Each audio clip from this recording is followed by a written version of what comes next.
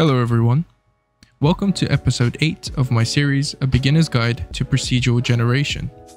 Last episode, we explored how to deform a plane to create a deformation game. So in this episode, we will be looking as to how to generate limitless terrain using planes. Please note, this episode relies on knowledge from episode 4, so if you have not watched that episode, please do so before proceeding with this tutorial.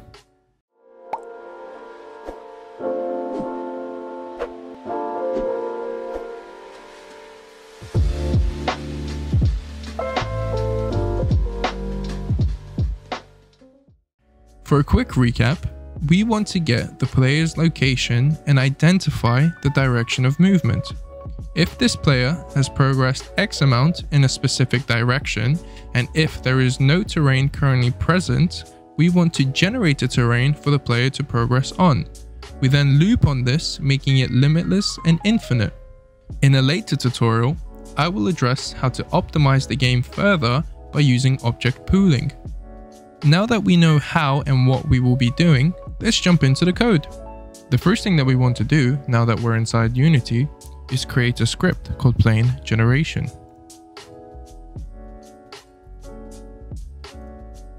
Once we have created a script, we can go inside and start coding.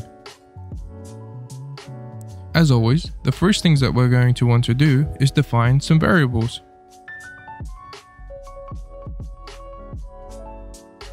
Here we've defined a game object plane, which we'll be using to produce the planes, and another game object player, which we will be using to get the location of the player.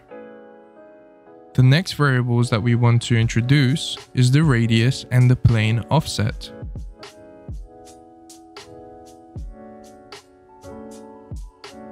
Here we've assigned radius the value of 5 and plane offset the value of 10. Radius is how many planes do we want spawned around our player, and the plane offset is the amount of squares that a plane takes up. In this instance, it's 10. We can now go ahead and take a few values that we have defined in episode 4, starting with the start position, followed by the X player move and Z player move, and also the X player location and Z player location, although there are a few modifications. For the X player location, we are now taking the player's transform position X, dividing that by our plane offset. We are then multiplying the floored value by our plane offset. We do the same for the Z location. There's one more thing that we need to introduce, and that is our hash table. This is the hash table, like in episode 4, that we will be using to assert whether or not we already have a plane generated or not. We can go ahead and remove the start function. In our update function, there's a few things that we need to do. The first being is when the game is loaded, we need to generate the terrain around the players. We can of course do this in the start function, but I will show you a method to do this in the update function. First being is we need to check, is the player's position currently that of our start position? We can do if start pos is equal to vector3 dot zero, which in this case it always will be because when this class is loaded, the value is assigned to vector30, and that only happens once. You can of course copy over the code from episode 4, but for this instance I will quickly run through exactly what we're doing as it's the same that we do to check whether the player has moved and to generate the terrain. The first thing that we need to do is create two for loops. One for the x-axis where our integer x will be our negative radius as we're spawning around the player. Then we assert is x less than our radius, we want x to increment. Then we do the same for our z-axis. Now within these two for loops, we need to create a position of where we will be spawning our plane. So we create a vector3 variable called pos.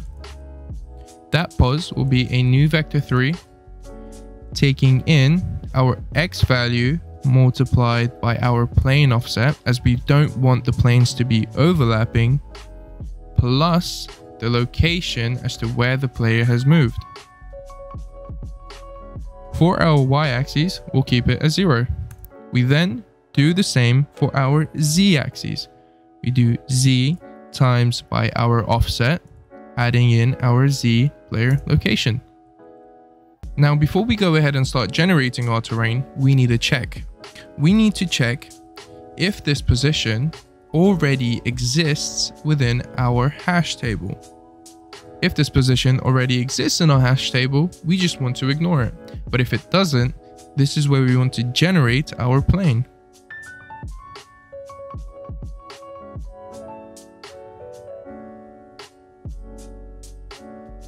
Once this plane has been generated, we want to add this to our hash table. Taking in our position as the key, and our value will be our newly generated plane. Now that we've completed our generation of the starting position, we need to create another boolean which will be used in an if statement to check whether the player has moved a specific amount or not.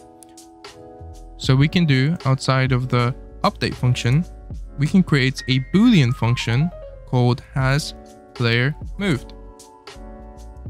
Then we have an if statement within this saying mathf.abs if the player's x player move is greater than or equal to our plane offset or if our mathf.abs